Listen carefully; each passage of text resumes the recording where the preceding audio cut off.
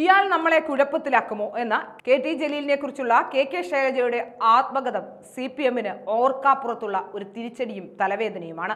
ലോകായുക്തയുടെ അധികാരങ്ങൾ വെട്ടിക്കുറയ്ക്കാനുള്ള ബില്ല് നിയമസഭയിൽ അവതരിപ്പിക്കുന്ന വേളയിൽ സംസാരിക്കുകയായിരുന്നു കെ കെ ശൈലജ.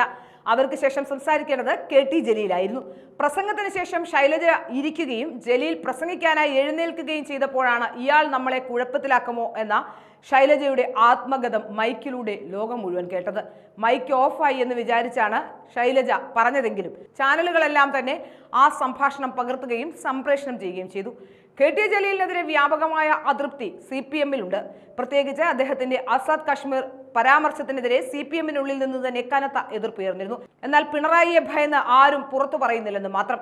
ഇപ്പോൾ ജലീലിനെതിരെ ഈ വിഷയത്തിൽ തിരുവല്ല കോടതി കേസെടുക്കാൻ നിർദ്ദേശം നൽകുകയും ചെയ്തിരിക്കുകയാണ്. ബന്ധു നിയമനത്തിന്റെ പേരിൽ ലോകായുക്തയുടെ വിധി മൂലം കഴിഞ്ഞ മന്ത്രിസഭയുടെ അവസാന നാളിൽ കെ ടി ജലീലിനെ രാജിവെക്കേണ്ടി വന്നിരുന്നു. പിന്നീട് ഹൈക്കോടതിയെ സമീപിച്ചെങ്കിലും ഹൈക്കോടതിയും അതേ നിലപാട് തന്നെ സ്വീകരിക്കുകയായിരുന്നു. ഇത് ജലീലിന് വലിയ തിരിച്ചടിയായിരുന്നു.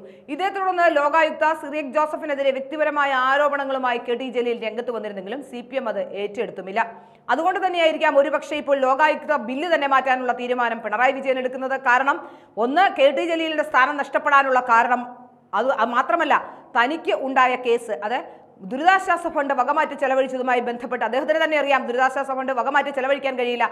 അതുകൊണ്ട് തന്നെ അതിന്റെ വിചാരണയും എല്ലാം പൂർത്തിയായി കഴിഞ്ഞിരിക്കുന്നതാണ്. ഇനി വിധി വരാൻ മാത്രമേ ഉള്ളൂ. അത് ഈ ബില്ലാണോ? ഈ ബില്ല് വരുമോ എന്നതിനെ ആശ്രയിച്ചാണ്. അതുകൊണ്ട് തന്നെയാണ് അദ്ദേഹം ഈ ലോകായുക്ത അങ്ങ് ഇല്ലാതാക്കി കളയാം എന്ന തീരുമാനത്തിലേക്ക് എത്തിയത് എന്ന് മനസ്സിലാക്കാൻ സാധിക്കുന്നു. ലോകായുക്ത ബില്ലിൽ തീരുമാനമെടുക്കാൻ നിയമസഭയ്ക്ക് അധികാരമുണ്ട് എന്ന തരത്തിലുള്ള ആ ലോകായുക്തയെ മാറ്റിമറിക്കാനുള്ള ശ്രമം. അങ്ങനെ ഒരു ലോകായുക്തയുടെ ആവശ്യം തന്നെ ഇല്ല എന്നാണ് മനസ്സിലാക്കാൻ സാധിക്കുന്നത്. ഏതായാലും മന്ത്രിമാർക്കെതിരെയും അല്ല പൊതുപ്രവർത്തകർക്കെതിരെയുമുള്ള അഴിമതിയൊക്കെ കണ്ടെത്തുന്ന ഇത്തരത്തിലുള്ള സമിതികൾക്ക് നിയമസഭയിലും അതുപോലെ തന്നെ നിയമസഭയിലുള്ള എം എൽ എമാർക്കും ഒക്കെ തീരുമാനമെടുക്കാൻ കഴിയുമെങ്കിൽ നിയമസഭയ്ക്ക് അതിലൊരു തീരുമാനമെടുക്കാൻ കഴിയുമെങ്കിൽ വിധി എതിരായാൽ തീരുമാനമെടുക്കാൻ കഴിയുമെങ്കിൽ പിന്നെ എന്തിനാണ് ഇങ്ങനെ ഒരു നിയമ സംവിധാനം? ഇങ്ങനെ ഒരു നിയമ സംവിധാനത്തിന്റെ ആവശ്യമേ ഇല്ല എന്നല്ലേ വ്യക്തമാകുന്നത്.